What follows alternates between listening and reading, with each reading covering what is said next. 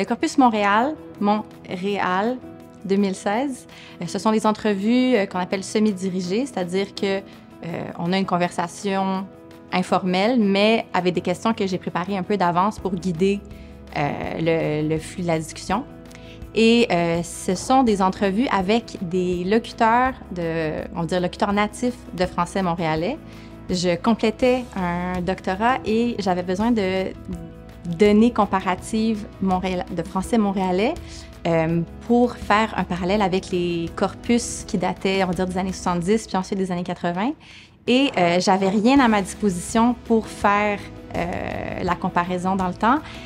Et mes directeurs de, de thèse m'ont suggéré de faire mon propre corpus. Mais pour les besoins de la cause, pour des questions de temps et de logistique, j'avais restreint ça à des locuteurs, on va dire, dont le français de Montréal est la langue maternelle. Quand j'ai commencé, euh, ce qu'on avait mis à ma disponibilité à l'université, c'était un, kit qui était gros comme ça, qui venait dans une valise. Euh, c'était une enregistreuse grosse comme ça, avec des fils qui sortaient de partout. J'avais deux canaux différents, des lavaliers qui étaient accrochés à des packs de batteries que les locuteurs devaient porter, qui étaient eux-mêmes connectés à l'enregistreuse, qui étaient elles-mêmes connectées au mur. C'était un setup tellement formel et tellement, euh, on va dire, pas chaleureux. Il avait, ça permettait aucune liberté de mouvement vraiment chez les locuteurs. Et euh, je trouve que ça rendait la situation vraiment pas naturelle.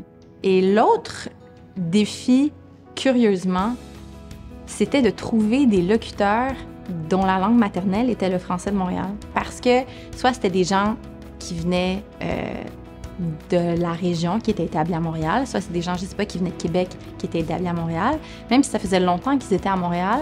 Et euh, j'ai donc un peu redéfini le terme montréalais pour que ça corresponde à la réalité d'un Montréalais d'aujourd'hui. C'est-à-dire, c'est peut-être quelqu'un qui vient de la rive sud, de la rive nord, qui habite là, mais qui fait ses études ici ou qui passe la majeure partie de sa vie économique sur l'île.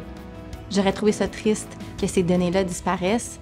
Euh, c'est des tellement belles conversations, c'est des expériences humaines tellement belles. Le fait que mon corpus puisse servir à d'autres linguistes, trouve que c'est le plus bel honneur.